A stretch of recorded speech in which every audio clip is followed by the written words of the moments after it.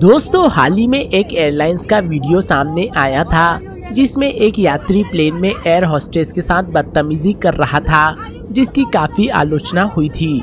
वहीं अब इंडिगो एयरलाइंस की एयर होस्टेस का ऐसा वीडियो सामने आया है, जिसे देखकर आप भी उसकी तारीफ़ किए बिना नहीं रह पाएँगे। बता दें ट्विटर यूज़र इरफान अंसारी ने एक वीडियो ट्वीट किया है, जिसमें एक एयर होस्टेस की कर्मनिष्ठा देखने को मिल रही है। वायरल वीडियो में इंडिगो विमान की एयर होस्टेस, एक यात्री का हाथ पकड़कर उनको मरहम लगा रही है।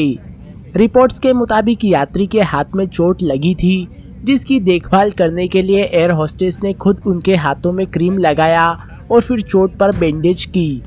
इस वीडियो को शेयर करते हुए इरफान ने लिखा, प्रिय इंडिगो, कृपया दोनों केबिन क्रू सदस्यों को पुरस्कार दीजिए। मैं जानता हूँ कि ये उनका काम है पर उन्होंने जिस तरह से शख्स की देखभाल की, ऐसे तो घर वाले भी ध्यान नहीं रखते हैं। इन दोनों महिलाओं को सलाम है। वहीं अब सोशल मीडिया पर भी एयर होस्टेस की खूब तारीफ़ हो रही है। लोगों का कहना है कि एक एयर होस्टेस का फ़र्ज़ होता है कि वो यात्रियों का ध्यान रखे, लेकिन लोगों को भी समझना होगा कि आप उन्हें भी उतना ही सम्मान दे।